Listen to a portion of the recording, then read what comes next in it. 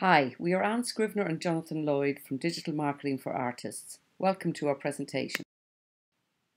We have created a website specialising in digital marketing content for artists. The website will serve as a hub for both aspiring and established artists to gather information on how to better market their art online. According to London's insurer Hiscox, art sales online increased by 24% in 2015, and they have projected that this growth rate will continue through 2020 bringing online sales to a whopping 9.59 billion. The online art market is clearly a booming industry. Our target market are aspiring and established artists. Our goal is to take these artists on their journey from zero social media presence to expert. Our method to this approach is to create a resource library. Our website and online objectives were A. Drive traffic to the website. B. Gather leads through our two strong calls to action sign up to newsletter and contact us for more information. C. Create an interactive community through our social media presence on Facebook, Instagram, and Twitter. And D. Build social proof through endorsements and testimonials. Our customer acquisition strategy incorporates a well thought out keyword planning and research to enhance search engine optimization and drive traffic to high quality and informative blogs on our website. Once there, we will convert our visitors by taking email addresses and they will immediately begin their journey through our marketing funnel, culminating in a monthly recurring charge for accessing premium level information and how to guidebooks. We used Google Analytics to evaluate our website performance. The overview page showed a high bounce rate, that is, the percentage of people who navigated the site only viewing one page. While this is a poor result, it can be explained by the fact that it was a project in development. Going forward, we would expect this figure to be much lower. Goal completion results for Goal 1 sign up to newsletter was a high 9.7% from social, and Goal 2 time on site had 67 completions in total. Through analysis of the other Google Analytic data, we gained huge insights into our visitors. Under audience, we could measure total sessions, users, and page views. We were also able to gather valuable information on our visitors' interests, demographics, and user flow, which enabled us to target where they reside online and develop our customer proposition strategy. Under acquisitions, we measured where our visitors entered our marketing funnel and what platform they used. Under behaviour, we could see our average page load time on Chrome is an acceptable 2.85 seconds. This is very important as page speed is one of the most important factors in SEO. We were also able to evaluate the average pages per session and which pages are most viewed. Under conversions, we measured the success of the goals which we had set. Further results showed a good percentage of returning visitors and a good average session duration. Social analytics showed us the impact of our social channels. Traffic to our website primarily came from Facebook, which accounted for 55% of sessions. However, while Twitter only accounted for 40% of sessions, it accounted for 61% of conversions. For our Facebook post, we tried many combinations, including video, slideshow, link, events, and photos to gauge our post success. Our best reach was for video. We posted at different times of the day and on different days of the weeks. We also scheduled some of the posts for foreign audiences through the use of Hootsuite. We analysed when our Facebook fans were online and tested posts at the peak times. We ran an event which had a great response and turnout in Auditorium 1 during lecture time and even attracted a lady off the street into our lecture hall. Facebook Insights allowed us to drill down into the various areas of engagement. Analysing the page views section showed us that most of the views were via mobile devices. Our second social media platform was Twitter. Our tweet summary showed the following results with our top media tweet receiving 2,402 impressions and our profile got 411 profile views. We gained ourselves some impressive followers too. Using Twitter Analytics, we could gauge our best performing tweets, and using the Tweet Activity tab, we could measure our tweet engagement data to work out which tweets were working best for us. We received eight engagements from our sign up to newsletter tweet. Our third social media platform is Instagram. We set up an Instagram business account and used Instagram Insights to analyze our data. We analysed reach, impressions, and profile views on the account, and then on each individual post, we view the insights unique to that post, enabling us to gauge the number of times the post was seen, the unique number of accounts that saw our post, and the number of times the post was liked, saved, and commented on.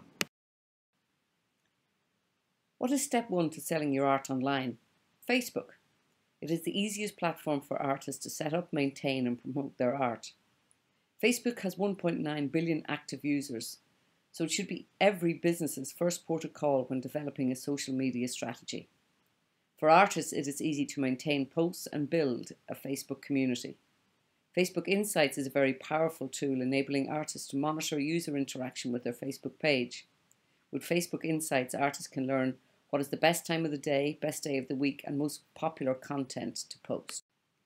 As modern website browsers rely more heavily on content, our remit was to create a blog that would rank more highly and be easier found on the web. Though I use Keyword Planner and Google AdWords to identify my keyword, I also looked at other SEO tools in the market, e.g. Moz and Ubersuggest. I used the long tail keyword technique so that I could identify keyword phrases that were very specific to artists looking to create a Facebook page. It is cited that Amazon makes 57% of their sales from long tail keywords. If a customer is using a highly specific search phrase, they tend to know exactly what they're looking for. I then included this long tail keyword into my blog post. My key goal was to rank on the search engine by integrating long tail keyword searches into my content to improve organic traffic.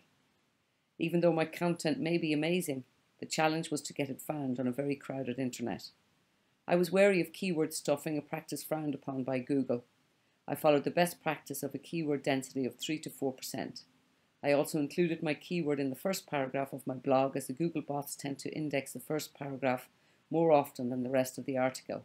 Finally, I rang my, my blog page URL through my site auditor and scored an 88% score rate. The objective of our, website is to provide digital marketing information for artists to help them sell their art online.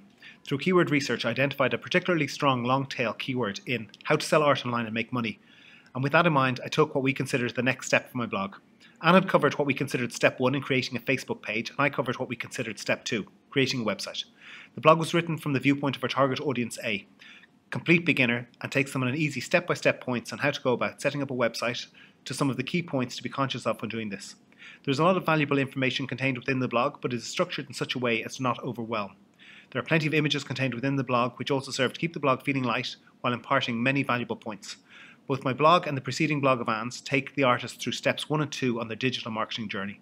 The following blogs will continue to take the reader through steps 3, 4, and 5, etc., culminating in a situation where the once novice becomes an expert in successfully selling their work online. Before I published my blog, I ran it through mysiteauditor.com to get feedback on suggestions on tasks to be completed to ensure the best possible optimization for search engines. There were 19 issues suggested, however. These also included blog being below 1500 words, H3 tag not inserted, keyword not underlined, and so I was extremely happy with my final page grade of 86%. I created many links within the blog, and we were also conscious to link both blogs to each other so they could form a type of stepping stone. Once published, I posted the blog to Facebook and received a reach of 66 with 17 separate interactions. Following on from the acquisition of our email address database, we will drive customer development through a critical conscious email marketing strategy. Our aim here will be to target potential customers to sign up on a subscription type model for more personal help within the areas of which they have expressed interest. We would recommend a Google AdWords spend and feel that even a modest investment can pay rich dividends through in-depth and well thought out campaign architecture. Initially, our strongest interactions have come through Facebook, and this is worth further development incorporating Facebook advertising. What became apparent is our work continued was that Instagram is the platform of choice for artists, and they can share instantly to Facebook, Twitter from this platform. Going forward, we will invest significantly more time developing our Instagram presence. We also feel that Pinterest should be used as a platform. It is very visual and perhaps the future. Through feedback on the blogs, we identified a strong demand for an online library.